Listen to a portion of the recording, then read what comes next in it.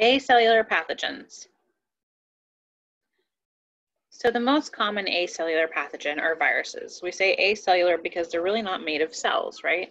A virus is a genome inside a protein shell. There's no cell there. It has to infect cells for it to replicate. So a little bit about the history of viruses.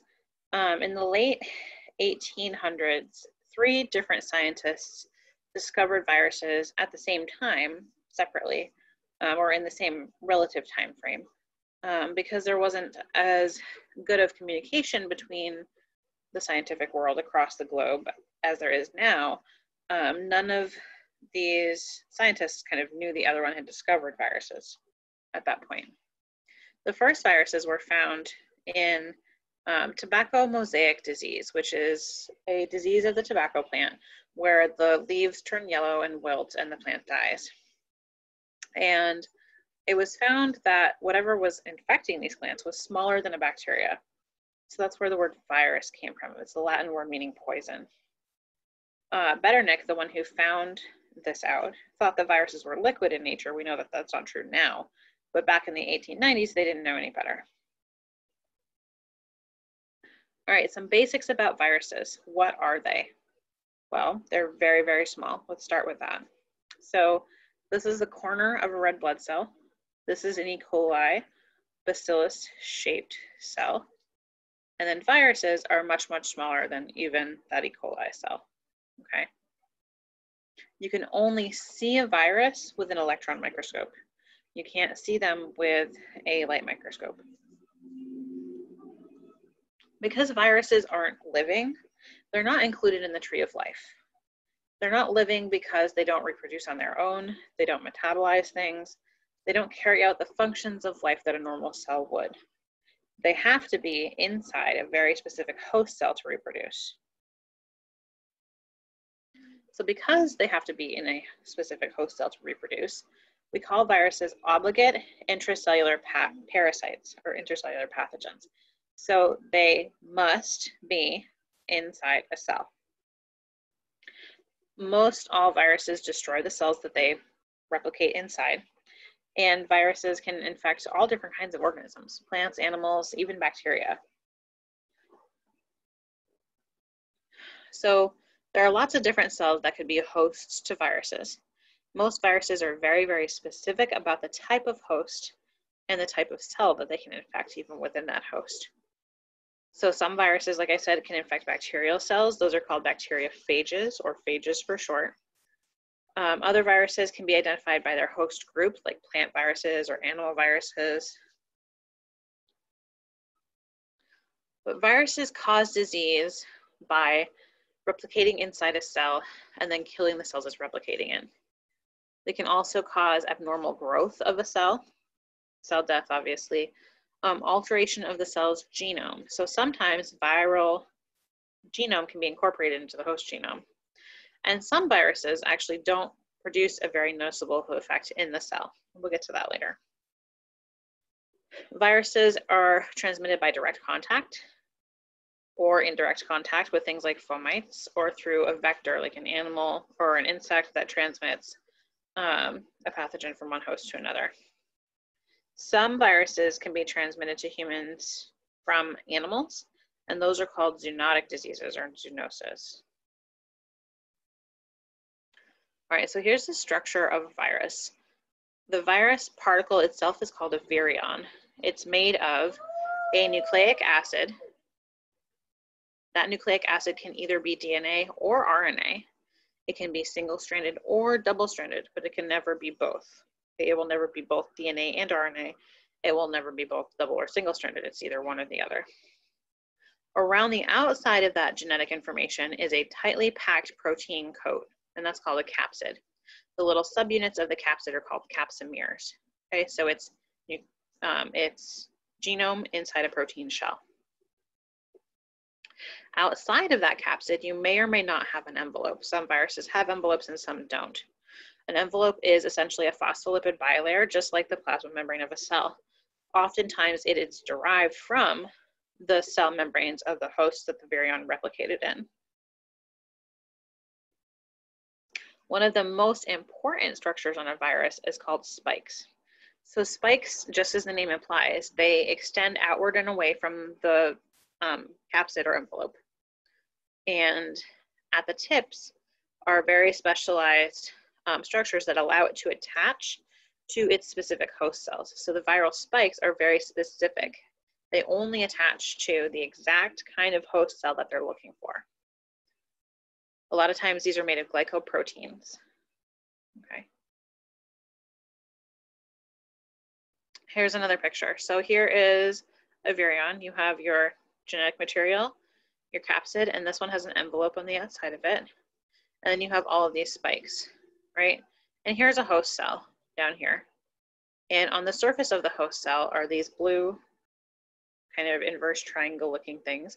And those are called receptors. The spikes bind to the receptors very specifically. And then that allows the virus to be taken into the cell.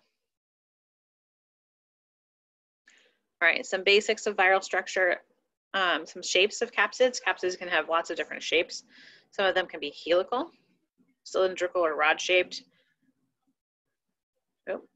Um, and here's a couple of examples.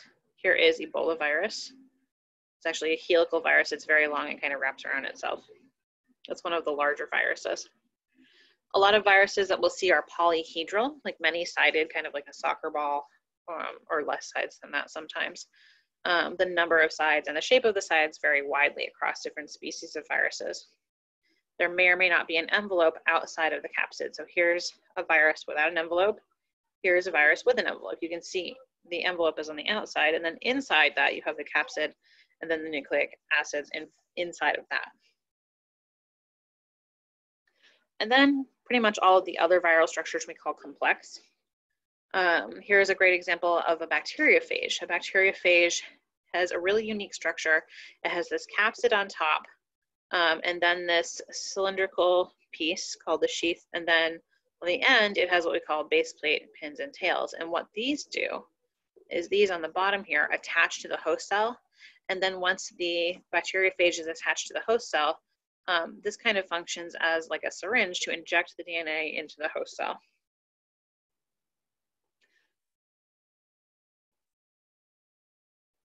All right, a little bit about viral classification and taxonomy. So they're not part of the tree of life, right? There's no domain, kingdom, phylum, class, but we do give viruses some um, categories so that we can study them better, right? So there are seven orders. The orders are broken up into families. Family names end in viridae. So you might hear um, a virus group ending in viridae. That's a family of viruses. And then below that, we have families divided into genera or genuses, if you want to be less proper. Um, genus names usually end in virus, like coronavirus, influenza virus, polio virus. And then further from genus is species, right? Some species are classified and some aren't. Um, sometimes it only goes down to the genus, but there are lots of different species within virus genera. Okay, and classification of virus is based a lot on genetics um, especially this day and age, it's the easiest way to classify them. We see how similar their genomes are to other viruses. Or we do some biochemistry or things like that, um, morphology, looking at the size, shape of the capsid, or how they multiply, or what they multiply in. One of the biggest classifications of viruses is what kind of host cells they infect. So some examples are either enveloped or non-enveloped viruses, right? We can classify them by their genome, single-stranded, double-stranded, RNA, or DNA.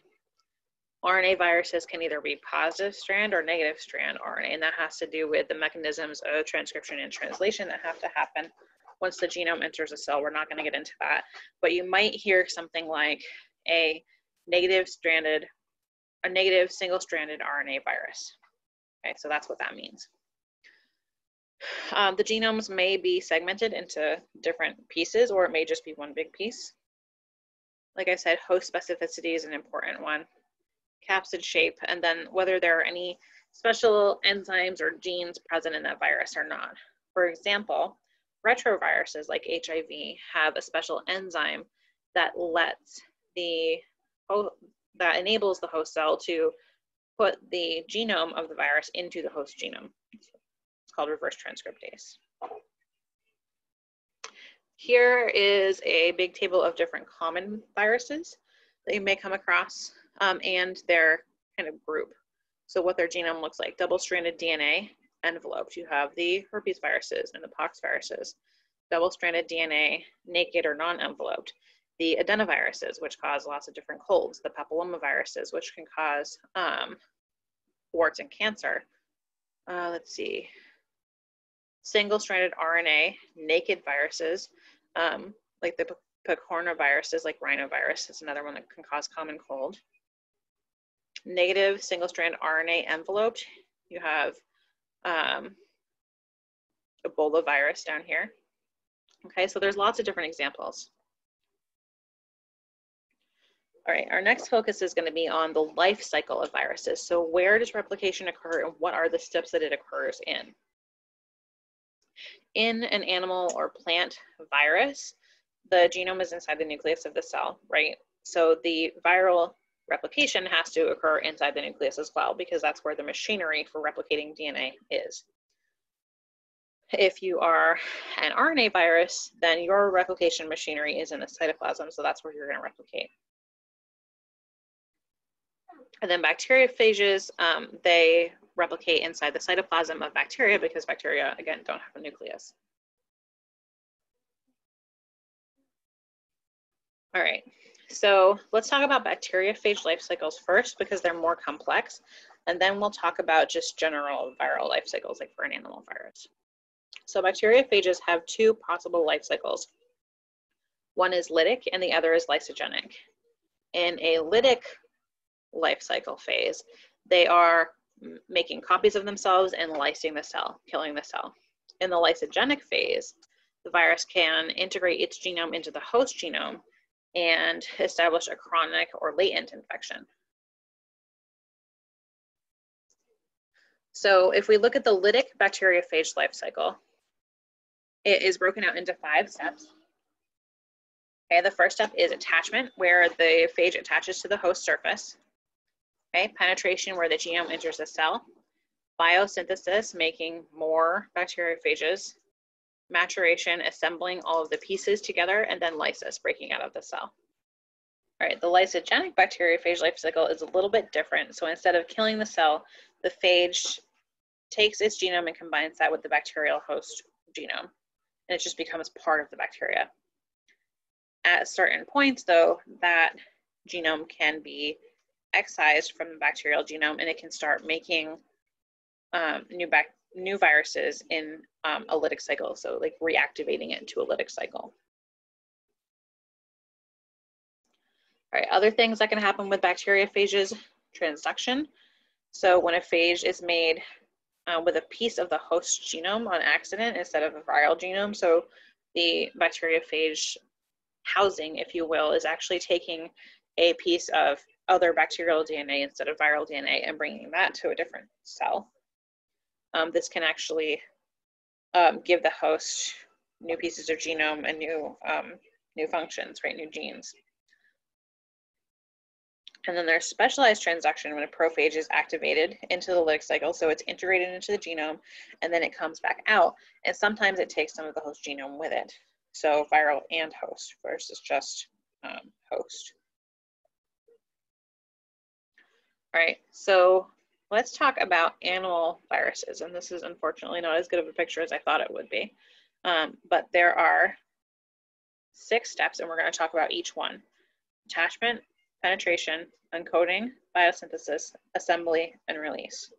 It's kind of similar to the um, lytic cycle of the bacteriophage.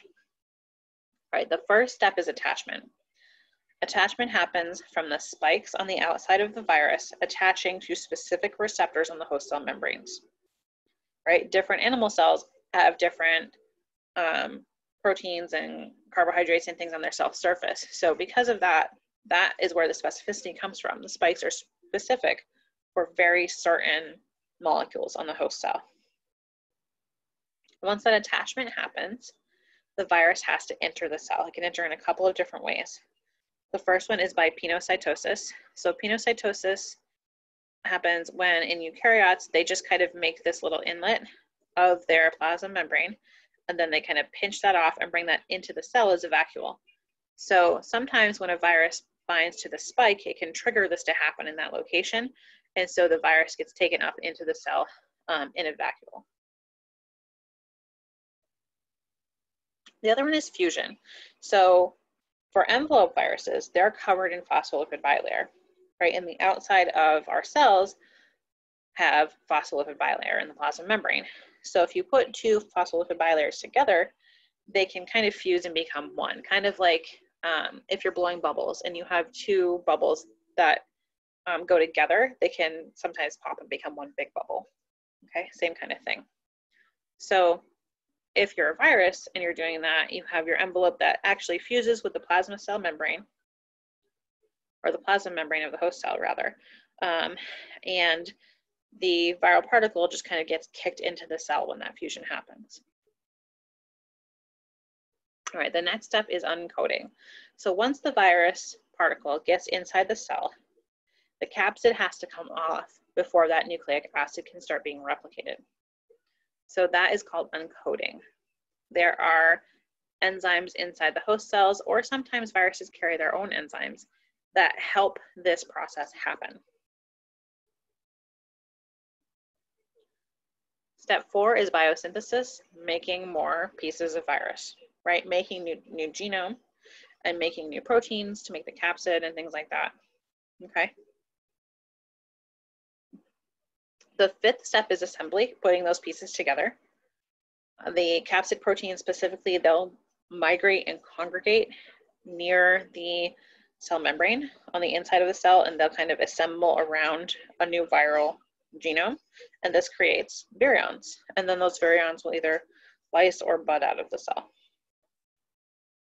in step six called release so release if you're an envelope virus you are going to bud out of a cell there's a really great kind of step-by-step -step picture here where you have the capsid near the plasma membrane.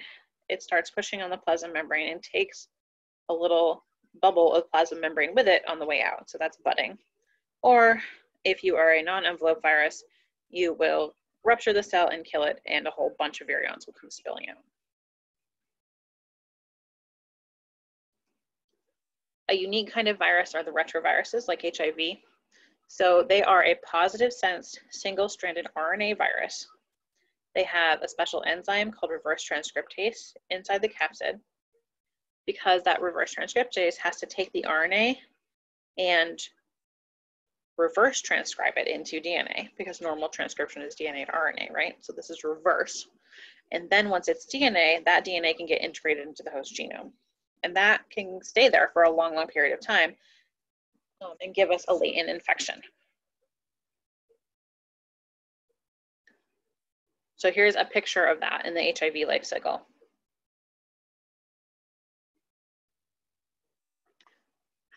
A couple of other things. Plant viruses are mostly positive strand or positive single strand RNA viruses. They follow a similar path to animal viruses. Um, they have either a narrow or a broad host range, because remember, um, plant cells are just as diverse as animal cells. Okay. Plant viruses are transmitted by contact, sometimes by fungi or nematodes or other insects. Um, and a lot of them will establish infection without killing the host. Then we have our persistent viral infections. So when a viral infection is not completely cleared from a host, it can stay in certain cells or tissues for long periods of time.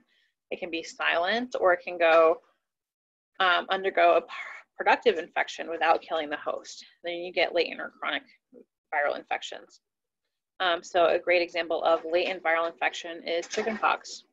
Okay, the chickenpox virus is in the herpes virus family. It establishes infection in the cells, and then you know the chickenpox disease goes away, but the virus isn't completely eliminated. And later in life, or after a very stressful event, that virus can reemerge as shingles, um, which is why a lot of elderly people are encouraged to get shingles shots. Um, it's kind of like a more severe, more targeted at neuron disease than chickenpox is.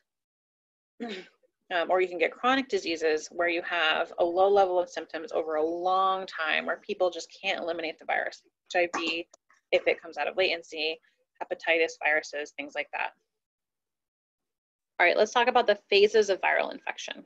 So first you have inoculation where the virus gets into the cells. And then once the virus is in the cells, it's undetectable for a brief period of time. That's called the eclipse period. It's undetectable because during that period, the virus is inside those initial host cells making more copies and they haven't come out yet. Um, and once those copies start coming out and cells start lysing and things like that, then you have your viral burst, your big kind of infection um, where you have a lot of symptoms present. A lot of cells are dying, a lot of virions are present in the host.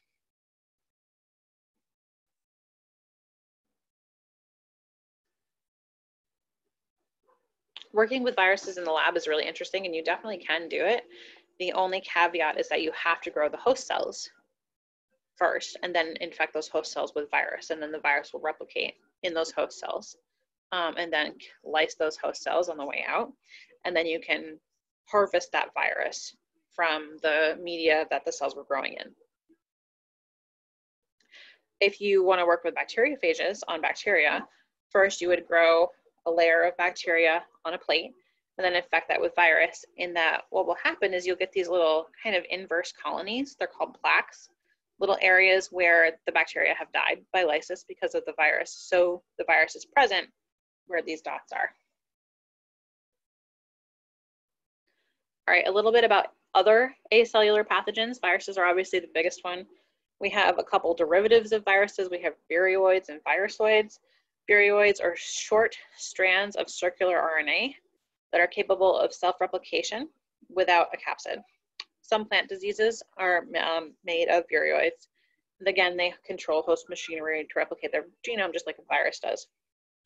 And virusoids, virusoids are um, responsible for some plant diseases, they have to be inside a host cell that's also infected with a second virus. So they kind of jump onto that second virus's replication.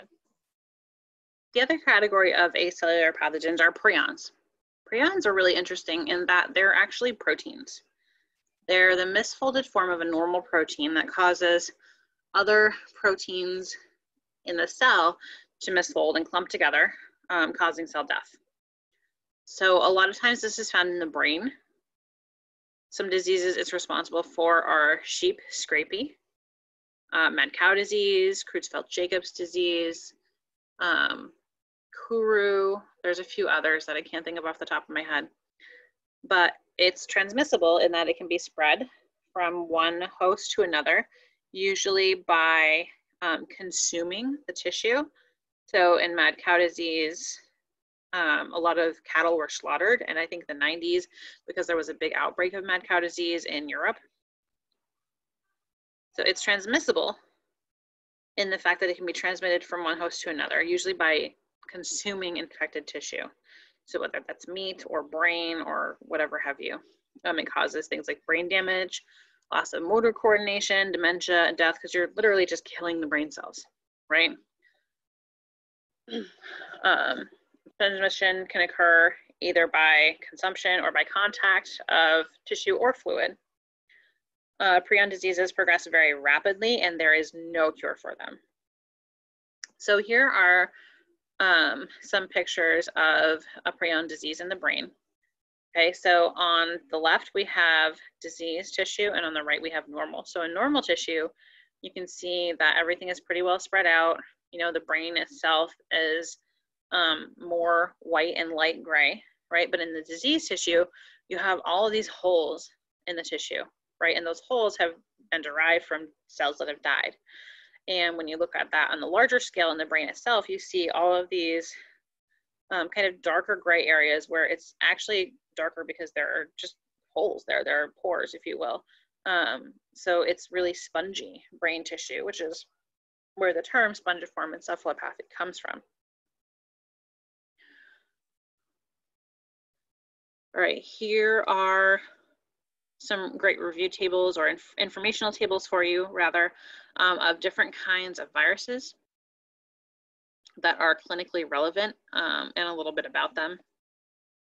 And here are a couple of really great review videos on viruses. Um, there's an Amoeba Sisters one, a Bozeman Science one, um, and I will link these in our um, lecture module on Canvas.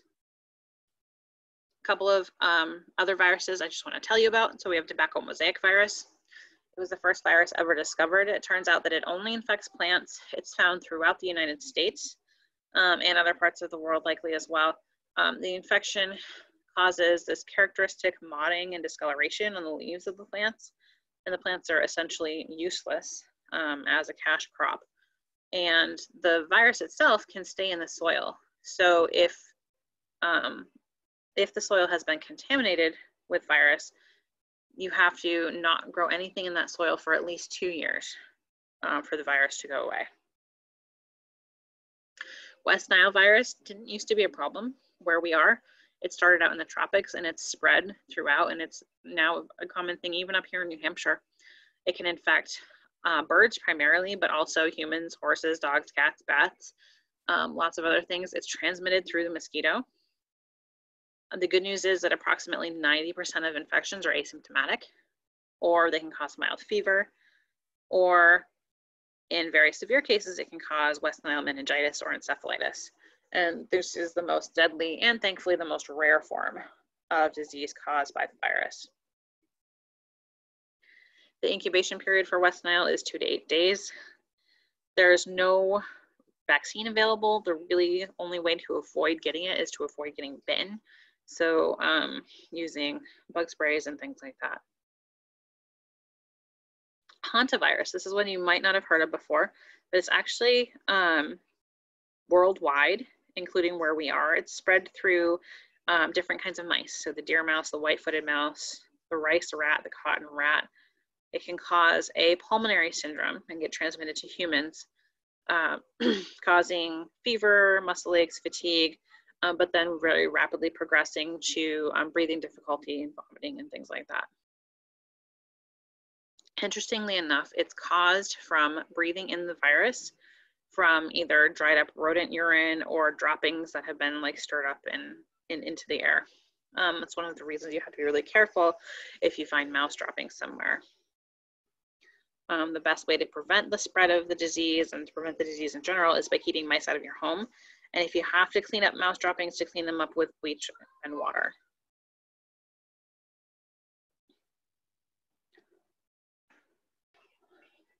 And then we have Ebola virus. Ebola virus is endemic to um, the Ebola River region in the Democratic Republic of Congo. It's a very fatal disease in both humans and in non-human primates, so um, chimpanzees, monkeys, that kind of thing. It's spread through contact um, with body fluid. The incubation period for Ebola can be anywhere from two days to 21 days. The onset is very abrupt, characterized by fever, headache, joint and muscle aches, weakness, and it progresses to diarrhea, vomiting, um, and then hemorrhaging. It is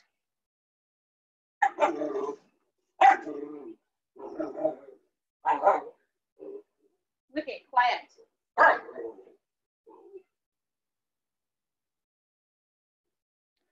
the most part, it stays in the regions that is endemic to in Africa, but we know now because of human travel that it has the potential to be um,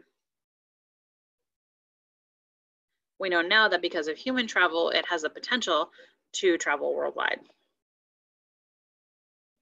Another one that's relevant for us is rabies virus. Rabies virus um, is transmitted. Rabies virus transmission occurs through the saliva of infected animals. So for humans, if you get rabies, it's almost always fatal. But the incubation period is months. So that's why if you get bitten by a rabid animal, they give you the rabies vaccines because those will take hold in your immune system before the virus comes out of the incubation period. But if not, um, it's very, very severe and very fast moving. Um, headache, fever, acute pain into violent movements, uncontrolled excitement, depression, and hydrophobia, and then mania, lethargy, and coma, um, and death by encephalitis. So very much not, um, not a good way to go. So The virus infects the salivary glands of canines primarily, um, and it makes the canine salivate more, hence like the foamy spit that you see. Um, and that spit is full of viruses because it comes out in the saliva. And of course, we have to talk about coronaviruses. So coronaviruses are a family of viruses. They're a very large family that only rarely infect humans, and they even more rarely spread from human to human. So what we're dealing with right now is a very rare um, species of coronaviruses. They're spherical enveloped viruses with large single-stranded RNA genomes, okay? They usually cause acute, mild upper respiratory infections. Um, and they're transmitted by airborne droplets. Those airborne droplets now we know can land on surfaces and be transmitted that way. Coronaviruses are transmitted by airborne droplets. They generally replicate in the upper airway epithelial cells. Um, however, we know that the coronavirus that's spreading right now, it replicates inside um, the bronchi and can cause a lot of lung issues, including pneumonia. Um, certain strains may be more virulent, like the one we're dealing with right now, uh, particularly ones that spread easily through humans. Um, case in point. Um, another recent coronavirus that we had to deal with was SARS. SARS was mostly an outbreak in Asia, um, but did travel worldwide, but it didn't affect us here in the United States nearly as bad um, as the COVID-19 pandemic that we're dealing with now. So a little bit about uh, COVID-19 specifically. Um, it is a beta coronavirus, similar to SARS coronavirus. Um, we think that it originated in bats, although there are people from the World Health Organization and others that are working on actually tracking that now. Um, so it'll be interesting to see when that information comes out. It was first detected in humans in Wuhan City in Hubei province in China.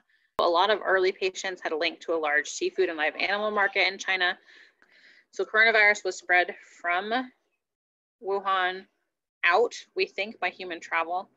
Um, there are a lot of things out there in the news right now about, oh, was coronavirus found in other places of the world earlier? We, we don't really know. Um, it's hard to know exactly where it started, but it's spread by human travel, right? The virus is not living, right? It doesn't travel by itself. It spreads because of human movement. Um, what we do know is that the genomes of viruses that are isolated from patients around the world are very similar, suggesting one single emergence from an animal reservoir that has spread rapidly. There are a few very subtle strain differences among different viruses of coronavirus. Um, there's some things out there in the news now that there are different strains that are a little bit more virulent or more easily able to infect, um, but we don't really know a lot about that yet. We, what we do know is that the range of illnesses we're seeing is from very mild, including asymptomatic, up to severe, including death, right? And we don't completely understand it, although the longer we're dealing with this, the more we're learning about it. Um, and it's caused more than 500,000 deaths worldwide. Um, and it's just, know, it's, it's still going. All right, here is a snapshot that I took the other day from Johns Hopkins University of Medicine. This looks a little different than the slides that you have because I wanted to update this. Um, this is as of June 30th, 2020 at 11.55 in the morning. So numbers of total confirmed cases, 10,350,645. Global deaths, 506,000.